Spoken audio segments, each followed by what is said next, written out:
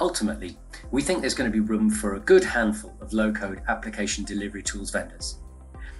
Of course, the large platform vendors have key strengths, not least of which is the strategic relationships they have with many of their customers. But they're really never able to address the needs of the whole market, and quite often that's by design. Low code vendors of all shapes and sizes have, have grown very significantly to date by building customer bases in the mid market, and they're now starting to grow into the largest enterprises. There's often a, a really strong proposition for them there in the big enterprises, although it's a little different to the proposition they might offer a mid-sized business.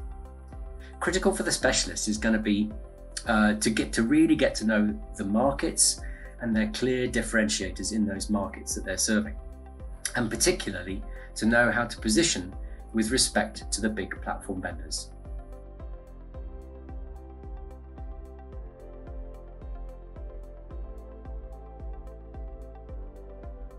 The simple answer is yes.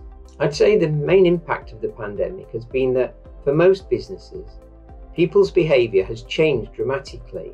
Previous patterns of supply and demand no longer apply.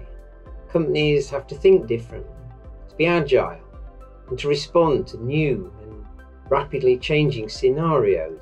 While on the one hand, in many companies, IT budgets are being constrained, we're also seeing increased demand for tools and approaches that can help with better planning, especially collaborative and cloud based planning tools.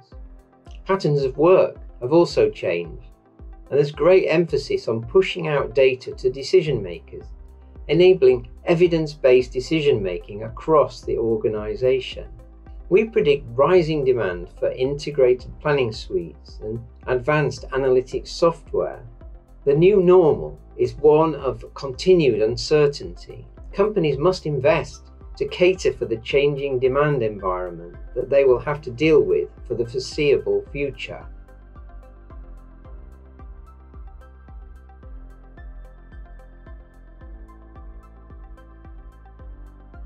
Well, until relatively recently, it used to be the case that these two groups of vendors and types of practices were based on very different uh, technology approaches and stacks.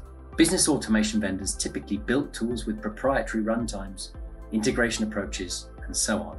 But app delivery vendors were really way ahead of them in embracing open standards and open source. Now, what we're seeing though is that the, the really rapid push to public cloud platforms and the embrace, particularly of DevOps, has really created an environment for quite rapid convergence between these two different approaches.